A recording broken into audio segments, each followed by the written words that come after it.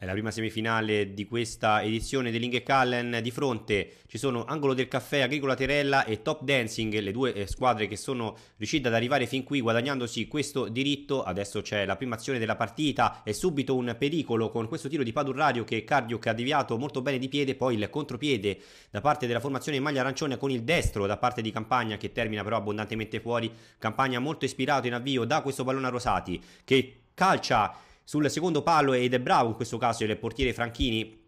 a deviare il pallone nel calcio d'angolo e poi questo pallone conquistato a centrocampo da Daniel Panzario che dà ad Alexander Bulboaca che spreca così una grande chance per la squadra di Angolo del Caffè Agricola Terella che sembra però aver iniziato meglio la partita. Adesso c'è eh, Padurrario che ci prova con eh, questo destro raso terra ma eh, Cardio che di piede gli impedisce la segnatura e a questo punto però si sveglia anche la squadra della Top Dancing con questa azione da parte di eh, Marco Terenzi che è riuscito però eh, a non, non, è riuscito però a segnare con questo intervento da parte del portiere eh, Franchini. E adesso è invece la volta della squadra in maglia blu, angolo del caffè Agricola Terella che eh, prova con Alexander Bulboaca, ottima però la risposta da parte di eh, Cardiuk in uscita. E la partita si mantiene sui binari dell'equilibrio praticamente fino al termine del primo tempo. Manca qualche secondo, ma guardate che scaldabagno che ha partorito eh, Petitti, una sentenza, un destro di terrificante potenza che si è andato praticamente a adagiare nel sotto il 7 nel secondo palo, ma dov'era il portiere però eh, Franchini? Era dietro la barriera e non poteva eh, sicuramente prendere questo pallone, adesso però prova a reagire nella ripresa subito, la formazione in maglia blu con questo gol un po' fortunoso di Bodgan Bulboaka che ha ricevuto sul lato di destra da Krachum e ha battuto con un tiro sporco il portiere Karpiuk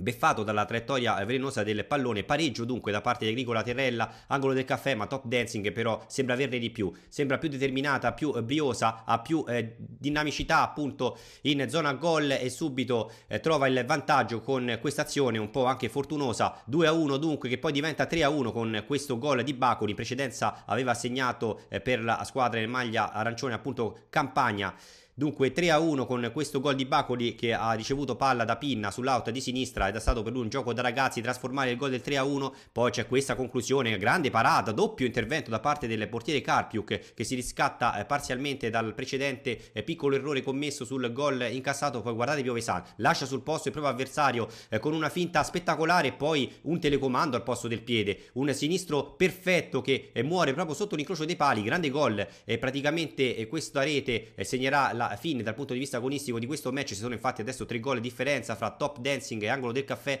Agricola Terella che poi però comunque generosamente eh, ci prova a buttarsi in avanti e segna anche il gol del 4-2 con Alexander Bulboaca che eh, da due passi non poteva far altro che mettere dentro. Però la prestazione della formazione in maglia blu non è all'altezza della